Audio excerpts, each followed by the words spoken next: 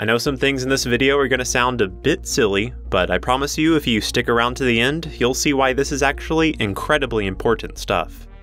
LEGO Star Wars The Skywalker Saga has been out for a bit now, and a lot has been said about the breadth of gameplay opportunities and fun retellings of all six mainline films, plus the three recent fan-made spin-offs. But one aspect only some reviewers have touched on is the unintended downsides of the new character class system. Unlike the previous LEGO Star Wars games where characters were loosely assigned categories by their main unique ability, here they are assigned a class and given a set of shared abilities and traits, or are put in the miscellaneous bin. This works out most of the time, but it unfortunately leads to abilities in the films being ignored, and to homogenization, a sameness quality to characters that should otherwise be unique. The most popular example to bring up is the astromech droids lacking the ability to hover, as seen in the films and all previous LEGO games. But other characters are affected too. Probe droids can double jump for some reason. Chewbacca has the same melee power as Rose Tico. Jar Jar can't use his tongue to grab people or things from a distance.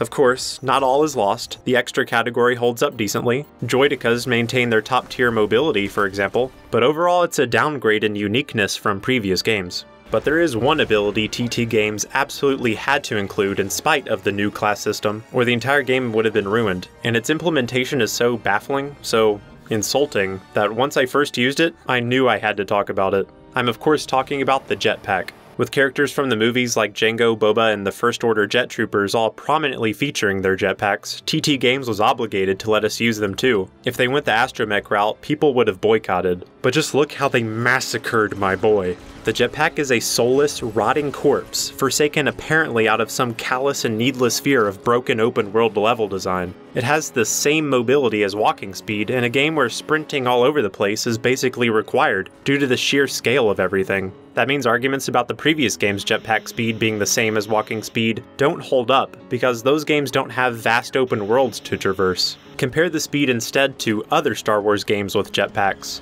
Now that's more like it. Aside from speed, the duration is pathetic. Just a couple seconds, and you don't even get to indefinitely hover in place like in previous LEGO games. Also, you can't use them to get vertical height at all. Of course, the previous LEGO games didn't have this either, so it wasn't expected, but it would have been a nice and appreciated touch. Speed and duration combine to the effect that jetpacks are near useless throughout the game. I only remember using them specifically two times, here to get across a gap on Crait, and to give me extra security on this platforming bit on Jakku. I've finished all main missions, side missions, puzzles, and challenges, and jetpacks only helped out two times. That's just sad. And it's not for lack of looking. I used the First Order Jet Trooper to complete most tasks because of his overpowered rocket launcher that one-hits most enemies and breakables. So if a jetpack would have helped, I would have noticed. Why? Why do this to my dear jetpack? The one I used so much in the complete saga to get over all sorts of gaps, like this one, or this one. And with the added sin of removing the hover from astromech droids, it seems TT Games all but hates any form of personal airborne technology. There is the obvious game design element to consider. With the open world nature of the game, perhaps TT Games felt the inclusion of character flight would trivialize certain puzzles in unforeseeable ways. Yes, better to cut off the ability to fly to a strategically placed kyber brick so players must engage in the world as we intended. But no, that doesn't really make sense to me. See, there are plenty of other abilities that can break the supposedly perfectly crafted puzzles across the galaxy. The most obvious is force lifting your second player to higher locations. This in effect is a force jetpack, just slower and lamer. There's also the jumping grapple move, Skyrim horsing up rough terrain, and of course the exploit known as child flight, allowing you to go as high as you want. So if TT Games specifically neutered jetpacks to maintain their carefully crafted world of puzzles, they did a bad job. So that got me thinking about an alternative explanation, one that maintained continuity with the previous LEGO games, which basically had the same style of jetpack, again not a problem for them because of different game designs, but while also looking to other Star Wars games with fully realized, powerful, useful jetpacks. In the LEGO world, people are seemingly made out of the same material as their storage containers, walls, vehicles, even sometimes dirt, that is, LEGO bricks. They may have different colors and shapes, but the material is the same. We know this because characters fall apart into their constituent pieces, and each piece has LEGO printed on it. We can therefore assume that each character's weapons, accessories, and accoutrements are all LEGO too, unless otherwise shown, as is the case with flowing, wavy capes that are clearly a different material. In the real world, Lego bricks are made of a thermoplastic terpolymer. Thermo meaning heat, plastic from the Greek plastikos, moldable, ter relating to three, and polymer, a chain of bonded chemical units, those being acrylonitrile, 1,3-butadiene, and styrene, or ABS for short, cross-linked together to form a tough, shelf-stable plastic which gives LEGO its characteristic high-quality sturdiness. I wanted to be sure of what I read on the internet, and that calls for an experiment. An easy one anyone at home can do is a density test. ABS has a known density of 1 to 1.05 grams per centimeter cubed. If bricks are made of ABS, they should just barely sink in water since they have a higher density. And that's what we see. Every brick tested sinks but two. By adding salt a bit at a time, we can steadily increase the density of the water until bricks start floating. Sequentially, certain bricks begin to float, likely due to the dyes having varying densities, until all but two were left. Turns out, certain bricks, the more bendable ones like these, are made of polycarbonate, which is much denser than ABS. But at least we gained some confidence that the other bricks are made of ABS, as the final density of the salt water was 1.06 grams per centimeter cubed, just above the expected value.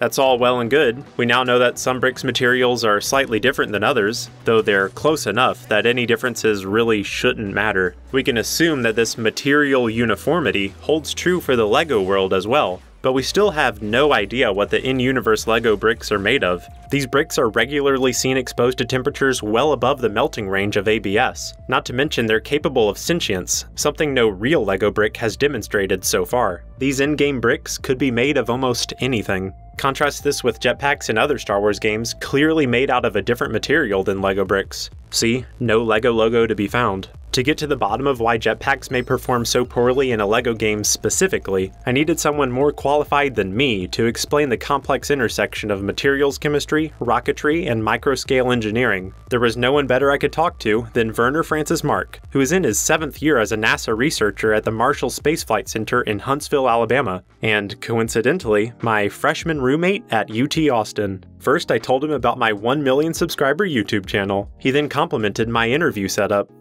Oh, really like what you got going on here, dude. The iPhone 13 camera, the Blue Yeti mic, real professional stuff. Glad to see you're doing good outside of college. Thanks. Best of luck to you as well. Werner, I know you have some questionable history in Germany, but why have you decided to vote against the Civil Rights Act of 1964? I think I think you got the wrong question there, my guy. That was my grandfather. Ah, right, right. So why do you think a fully functioning jetpack would be difficult to make in a purely Lego world? Uh, I thought I was here for uh, the NASA outreach community programs that we have, not these silly questions that I wasn't prepared for. So. Well, buddy, uh, I'd imagine they would struggle with jetpacks because they're so complicated. After a fruitful conversation with a leading expert in the field, I felt comfortable making definitive conclusions about the LEGO Skywalker Saga jetpacks. The most important thing to know is that jetpacks are functionally a lot like rockets, and rockets are quite simple in theory. All you need to start off is the ideal rocket equation, which states that the acceleration of the rocket is equal to the exhaust speed out of the back times some bit we don't really care about. This equation is saying that the thrust of the jetpack is proportional to the speed of the exhaust. If you look real closely at Jango's or Boba's jetpacks, you will see a tapered part of the tubing right before the opening. This is called a throat or choke. This tells us that the rocket equation applies to the LEGO universe because this kind of tubing, known as a de Laval nozzle, is also used on our rockets. It exploits, among other things, the Bernoulli effect, which states that as the pressure of a fluid drops, its velocity increases, or vice versa. Bingo! An increase in exhaust speed with one simple trick. The first order jetpacks do not show this tapering, but it easily could be present in the interior. Another important thing to note is that other LEGO objects superficially similar to jetpacks work as expected in the game. Spaceships, large and small, fly and float around just like they do in the movies, meaning there isn't some underlying problem with the LEGO material of this universe, like melting point, that would make all rockets impossible. But let's see if you can spot the difference. Here's a jetpack. Here's a ship. Well, the closest ship-like thing to a jetpack I could find, the Micro Tantive 4 escape pod. Notice anything? Good. The jetpack is significantly smaller, and that makes sense. It has to be small enough to fit on someone's back. This leads me to only one conclusion. The material makeup of this universe's LEGO bricks fundamentally lacks some property which would allow for effective miniaturization of rocket technology. This could be toughness, heat conductivity, abrasion sensitivity. It's hard to tell without further testing. But the facts are undeniable. This world is incapable of producing viable, man portable rockets for effective speed, long range traversal, or verticality, with access to the same basic designs of perfectly good jetpacks made of a different, non LEGO material. Perhaps the LEGO World engineers just can't yet make nozzle throats small enough for efficient fluid expansion. Now, I can hear the counterargument that jetpacks in the pre rendered cutscenes and for certain scripted enemy encounters seem to function just like in the movies, so it can't be that the LEGO Star Wars universe is incapable of making powerful jetpacks, right? To this, may I remind you that these are pre rendered and scripted scenarios. They do not represent the lived experiences of the typical LEGO person. Because jetpacks only work properly during certain highly controlled moments, but not when full freedom is given to the player, we cannot trust these scripted depictions to accurately represent what LEGO jetpacks are capable of. These situations could easily be fabricated. Perhaps strings or some other mechanism is involved. So, is there any hope left for this universe to have true, fully functioning jetpacks? I do propose a solution. As shown with the Big Head extra, LEGO organisms in this universe are able to drastically change size and still function normally. If everyone would agree to increase their size by, say, a factor of 3, everything else could also be scaled up to match, meaning no overall detectable change. As noted, the main problem with jetpacks is their small size, so if they were able to be three times bigger, then they would function just as well as the escape pod, which is capable of interplanetary travel. Of course, that's overkill for a jetpack, but it demonstrates that there would no longer be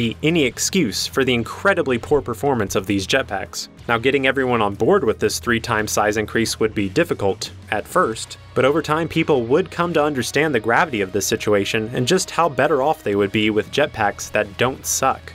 Thank you for your careful consideration, and please, moving forward, for the good of the galaxy, turn on the Big Head extra as soon as you're able. I believe a grassroots movement is the best way to get people to accept our three times size increase initiative. Good luck out there.